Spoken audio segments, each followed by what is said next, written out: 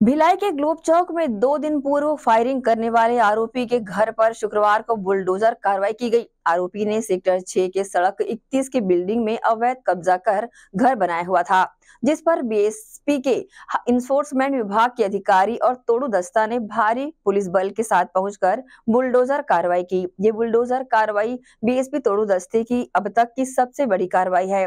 बता दें कि भिलाई के टाउनशिप ग्लोब चौक में मंगलवार, बुधवार की दरमियानी रात नशे में धुत आरोपी अमित जोश ने एक विवाद के बीच तीन राउंड फायरिंग कर दी थी।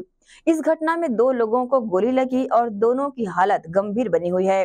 दोनों का रायपुर के अस्पताल में इलाज चल रहा है। दोनों घायलों में से एक सुनील यादव, जियो कंपनी का कर्मचारी है और दूसरा आदित्य सिंह उड़ान अकादमी में पीएससी की तैयारी कर रहा है। बदमाश अमित जोश के खिलाफ दुर्ग पुलिस के पास उनचास मामले भी दर्ज हैं।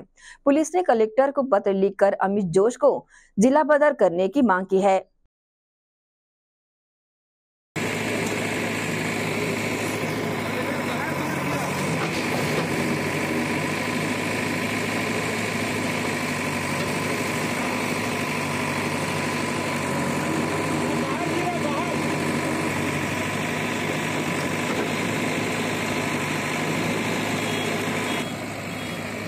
देखिए बीएसपी इन्फोर्समेंट की टीम का आज विशेष अभियान के तहत जो अतिक्रमण है बहुत सारे जगहों में सेक्टर सिक्स में भी है उसको तोड़ा जा रहा है और उनको आ, आ, किसी प्रकार का कोई अव्यवस्था या वो कानून व्यवस्था की स्थिति निर्मित न हो उसके लिए पुलिस फोर्स यहाँ पे उनकी सहायता के लिए मौजूद है। हम भी उसे क्लियर हुए अमित जोश नाम का निगरानी बदमाश यहाँ रहता था किराए से लोगों को चढ़ाया हुआ था और अन्य लोगों के साथ साथ जो अमित अमित जोश है सेक्टर सिक्स कोतवाली थाने का निगरानी बदमाश गुंडा बदमाश है वो आ, उसका भी यहाँ पे मकान है।